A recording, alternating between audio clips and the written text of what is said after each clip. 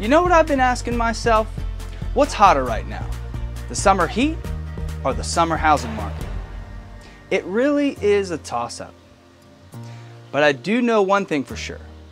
If you're looking for a five bedroom home for under 500,000 in Stafford, I've got one of the few.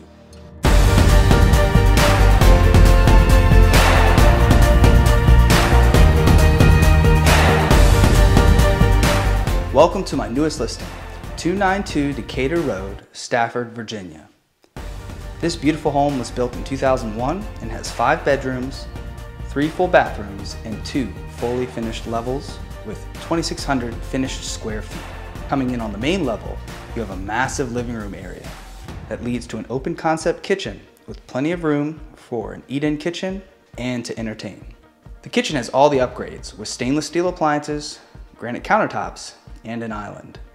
This leads to the primary suite, an ensuite bathroom. On the main level, you also have two additional rooms and another full bathroom. Heading downstairs, you have a large open space, which could be a second living room or rec room. You also have two big bedrooms and a full bathroom.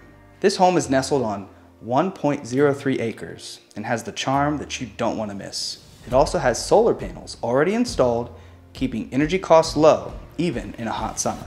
The location of this home couldn't be any better. You have no HOA, you have easy access to 95, and you're only 19 minutes from Quantico, 2 minutes from the Potomac Point Winery, 9 minutes from Widewater State Park, and less than 10 minutes away from the Potomac River access. Now, I'm no weatherman, but I can give you the housing forecast. This home is going to be hot, hot, hot. Make sure you beat the heat and schedule your private tour today.